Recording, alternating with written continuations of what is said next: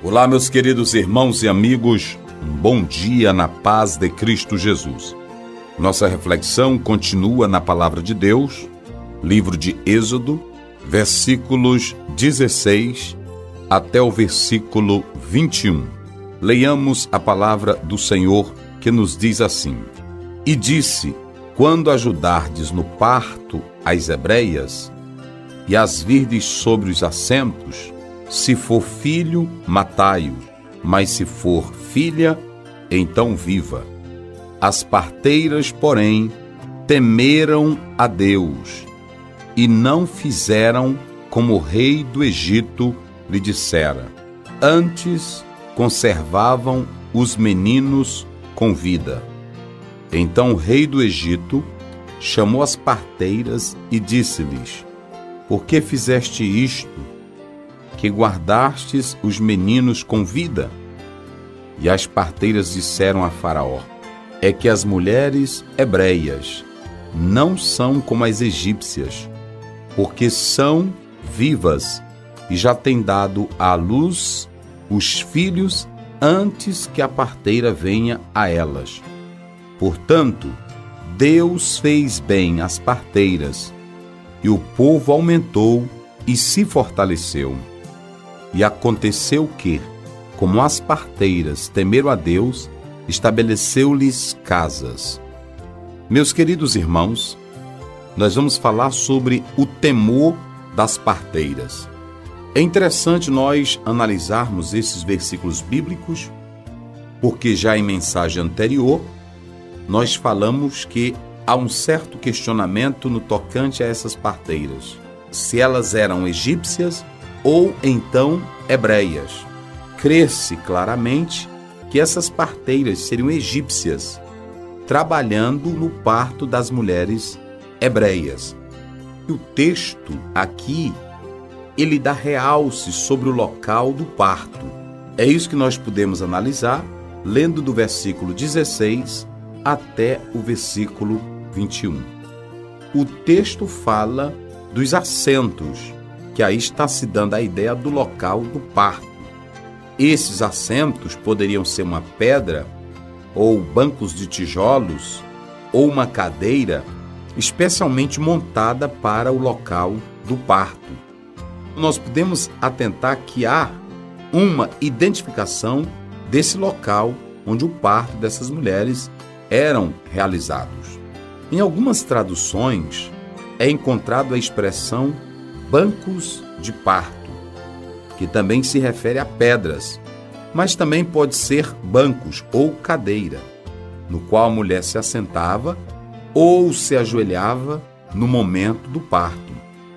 Nós podemos analisar que a ordem do rei, ela é expressa, ela é clara.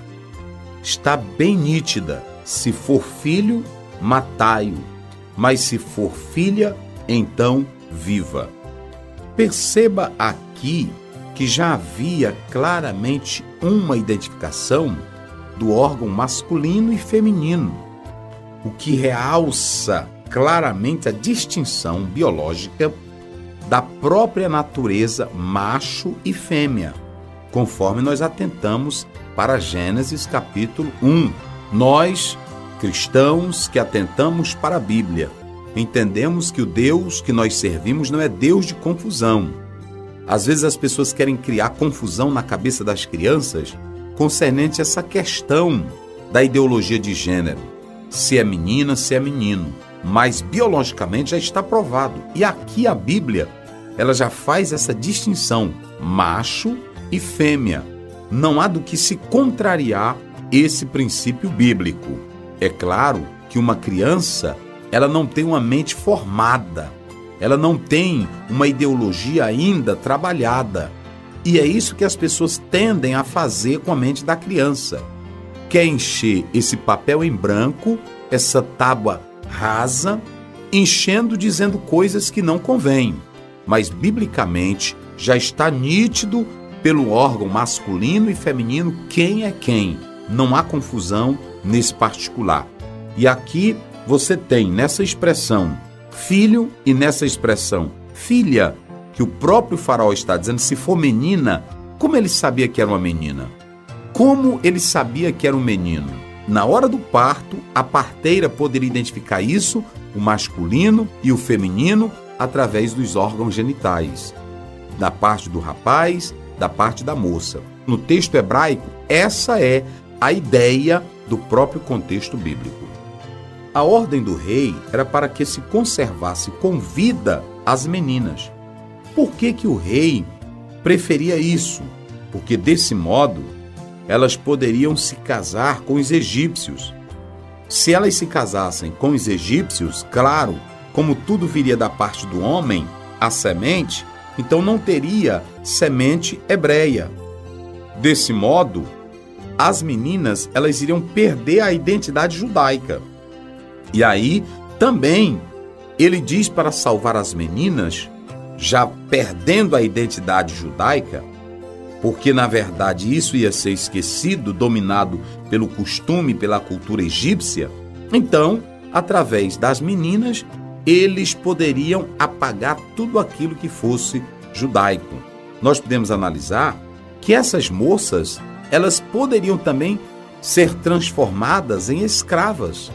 Então, ele diz: deixe essas moças, porque elas não têm semente. A semente vem do homem, através do sêmen. Perceba a astúcia do próprio Faraó para deter, para acabar com o povo de Deus. Quando lemos a palavra do Senhor, no livro do profeta Daniel, no capítulo 1, e o chefe dos eunucos lhes pôs outros nomes, a saber, a Daniel pôs o nome de Beltesazar, e a Ananias o de Sadraque, e a Misael o de Mesaque, e a Azarias o de Abidnego. Esses nomes estavam relacionados à cultura babilônica. A mudança era para que esses jovens esquecessem a cultura, os costumes judaicos e adotassem uma outra postura. É isso que o inimigo tenta fazer. É isso que as pessoas que não querem que outros sirvam a Deus fazem com que tudo seja esquecido. Devemos atentar para isso. Essa questão de alguém querer mudar não é novo.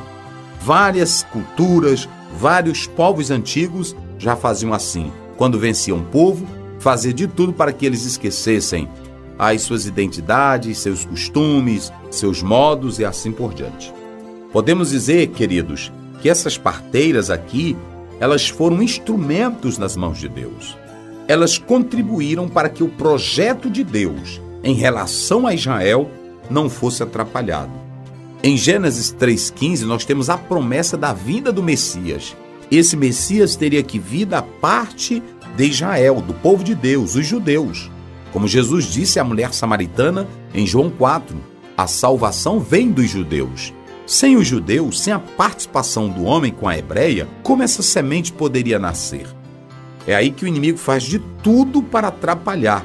E o primeiro projeto dele é matar os meninos para que não tivesse a origem da semente. Mas esse plano foi frustrado porque essas parteiras, elas temeram a Deus grandiosamente. Seria o parto das mulheres hebreias um fato biológico em sua rapidez? Ou essas parteiras estariam mentindo? É claro, quando a gente lê Gênesis 35, 16, Raquel teve um parto difícil, demorado, e ela era uma hebreia. Por isso que fica esse questionamento: se era mesmo o parto das hebreias rápido. As parteiras, elas não são elogiadas nessa questão se o parto era rápido ou não elas são elogiadas aqui no texto pelo temor, pela reverência que manifestaram para com Deus em detrimento da ordem satânica de Faraó. Elas não mataram aqueles infantes, os pequeninos, os inocentes, porque elas tiveram temor de Deus. E devido a esse procedimento glorioso, elas receberam bênçãos do Senhor Deus Todo-Poderoso. Essas mulheres elas colocaram em risco as suas vidas, mas não tiveram a precaução quanto a isto, razão pela qual foram abençoadas, tiveram suas casas estabelecidas.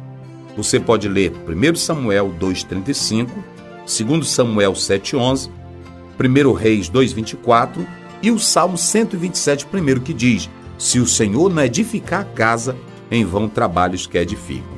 Saiba que Deus honra quem honra a sua palavra. Deus honra quem obedece à sua palavra e estabelece sua casa. Seja assim, honre ao Senhor e ele te dará vitória em nome de Jesus. Amém.